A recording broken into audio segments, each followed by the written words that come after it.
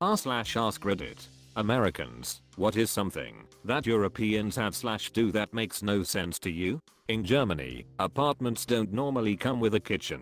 It's purchased slash installed by the tenant. Sometimes you luck out but not usually. When we sold our house recently, a German woman viewed it and said this is lovely kitchen.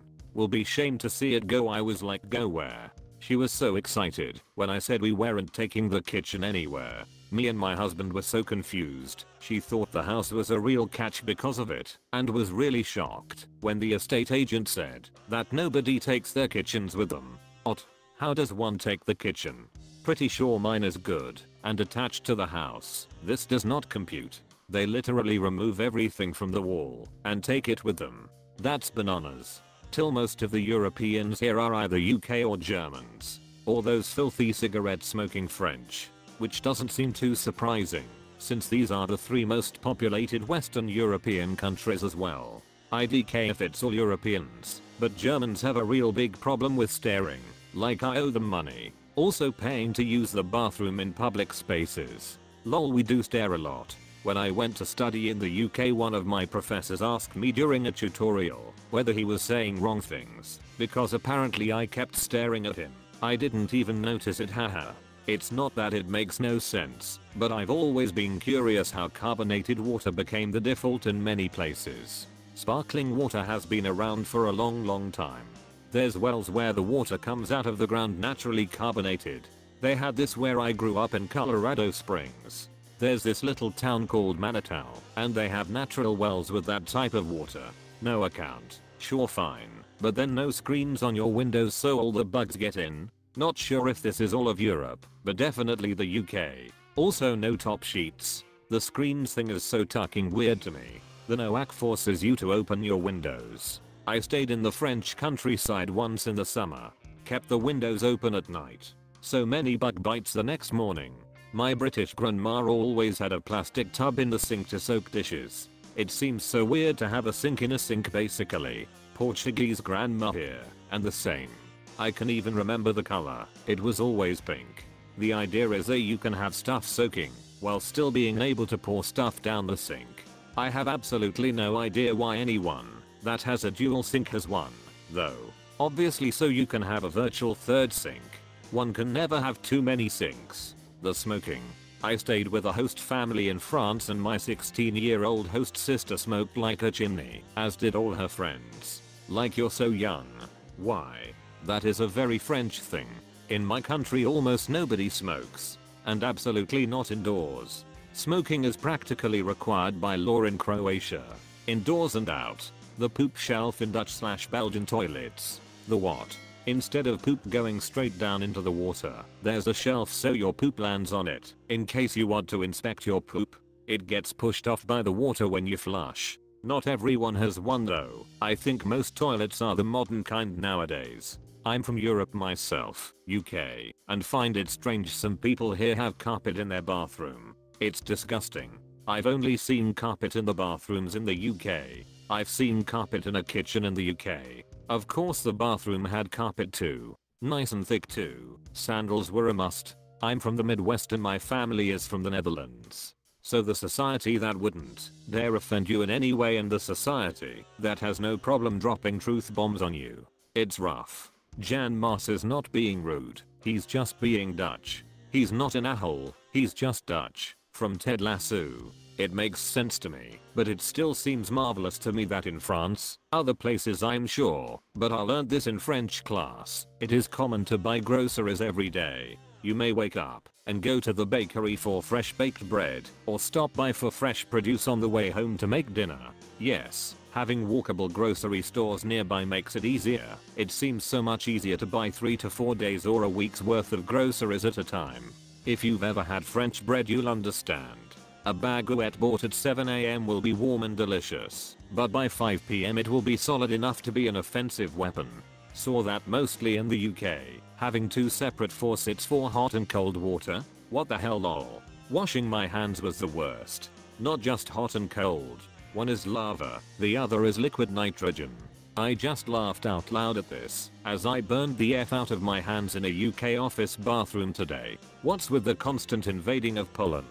Poland is in a highly strategic position, connecting Western Europe with Eastern Europe, and it's also a flat ground that's not easily defendable, especially with 1900s technology. It used to be an easy target for authoritarians to take. Now things are different after the Ukraine war as Poland has requested the biggest weapons delivery ever. Germany is also pulling money into their military. Russia ain't winning this war that's for sure. Why you guys like to put bathroom light switches outside the bathroom? It's to do with the electrical regulations over here. Basically we don't allow electrics within a certain distance of a water source. And by placing the light switch outside it means the electricity is outside the zone close to the water. It stops people with wet hands getting electrocuted. You are allowed a pull cord light switch inside the bathroom as you're pulling the cord and not actually touching anything with electricity going through it invading my personal space, especially when standing in line. I'm sorry, is my comment too close to yours? Allow me to squeeze in please. Was just in southern Italy, and it was hot as balls but everybody acted like they hate AC. We'd go out for the day, and when we came back, housekeeping had turned off all the AC units. Driver wore a full suit, but every time we got in the car, AC was off. We'd ask him to turn it on, and he would butt on low. Ask him to blast it, and he would for a minute then sneakily turn it back down. It's like they're reptiles or something. The cute sounding police sirens. In America the police sirens seem like an urgent semi-deranged warning to GTF out of the way, like shit's going down, and I'm not there. Move. Meanwhile every European police siren I've heard just kind of politely annoy you out of the way, like be-do be-do pardon me but a spot of bother has occurred, and I simply must hasten to it, pardon me as I simply must attend to it, pardon me, and the police cars themselves are so small. American police cars are big and brawny, like they might need to make their own garage door into building. The European police cars I've seen, where they even put the people there rest, Granted, I've only seen European police stuff on TV, so there's probably a lot I haven't seen. I don't understand cricket, and at this point I'm afraid to ask. Hit ball with stick, run back and forth between two sets of smaller sticks, while other team tries to get ball and knock small sticks over. Repeat for several days. Play the same country once every two years in a 5 day game for the chance to win some ashes in a tiny urn. Each game is called a test for some reason. Solid month of vacation in the summer. Man, I wish we had that in the states. You can choose when to take it, some people take 15 days one month and 15 another through the year. And you have the national slash local holidays, at least in my country. Washer and dryer in the kitchen. I'm in the US, and don't have a washer slash dryer at all. I'd be ecstatic if they materialized in my kitchen.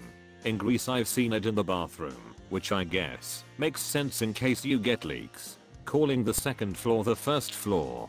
Edit, I think I figured it out in a comment below. It's more of a language thing than a numbers thing. That's why it's kind of infuriating lol.